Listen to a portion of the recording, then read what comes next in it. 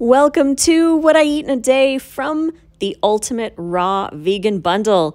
Today's recipes are all featuring bananas. So if you're interested to hear more of what I made from the Ultimate Raw Vegan Bundle, stay tuned.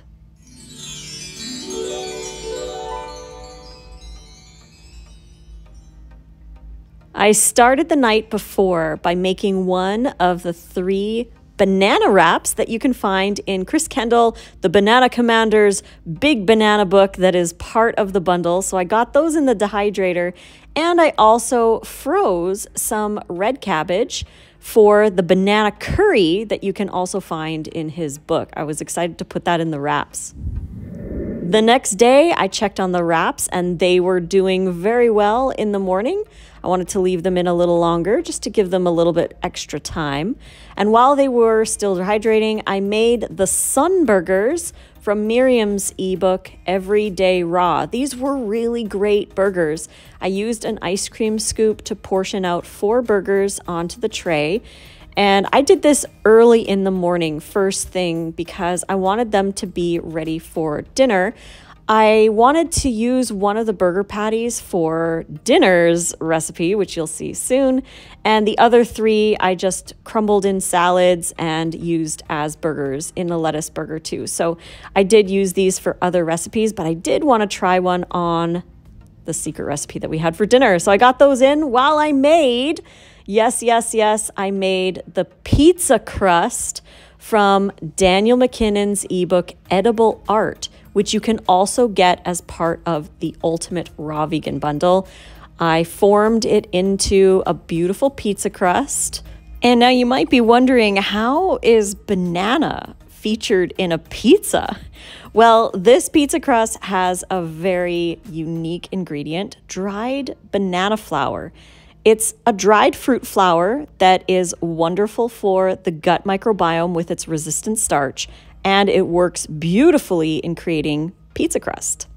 So I got that in the dehydrator early on and went for my walk.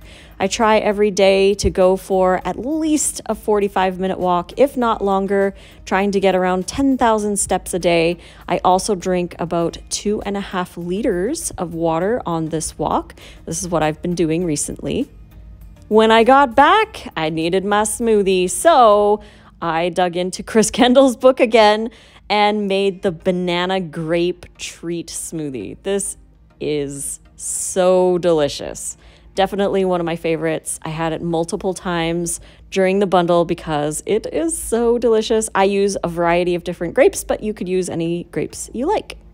Then for lunch, I thawed out the red cabbage that I chopped and froze the night before and chopped up some of the ingredients for lunch wraps. These are, again, from Chris Kendall's Big Banana book, his banana curry. I really wanted to try this because I have never had a savory banana recipe before. So I was very, very, very intrigued by his recipes. So using a fork, that's how I like to do the carrots. And whatever pieces are left over, I just eat them. I blended up the curry sauce and it's really unique and really good. I was quite surprised because you don't think bananas and curry, but mmm, it was so good. I mixed it up and added the purple cabbage as well. And this was a little bit watery for the wrap, but I went with it anyways. I knew it was going to be a messy one, and I didn't want to use the entire amount of the curry in my wrap because we only have so much space. So I did have the rest of it as a side salad. So I wrapped up that wrap. And yes, like I said, it was messy, but it is what it is. I don't mind messy food. So here it is, the inside of the wrap. They were quite filling and delicious. Here they are ready for a photo. And as you can see, I did have the remaining of the curry as my little side salad. This was a very, like I said, very, very, very, very, very filling recipe. but I really enjoyed it. It was super unique and I loved the wrap. It was very spicy, but not super spicy. It was just spicy enough and it kept me wanting to eat more. So, Chris, You're awesome. This was such a delicious meal, and I will definitely be making this again in the future.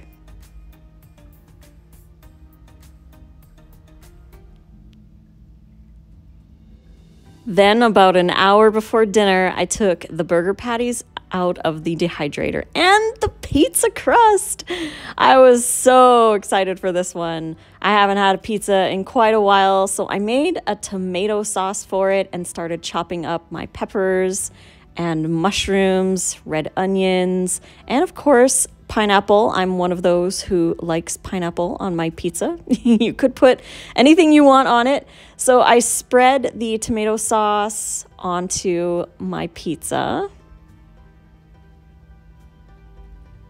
And then I added the cheese. Again, this is Daniel's recipe from Edible Art. This is an ebook that you get as part of the Ultimate Raw Vegan Bundle. So if you want these recipes, please go to the link in the description box below and grab the bundle before it's over because you will not be able to get this collection of ebooks ever again for $50. It's worth over $840 worth of brand new content.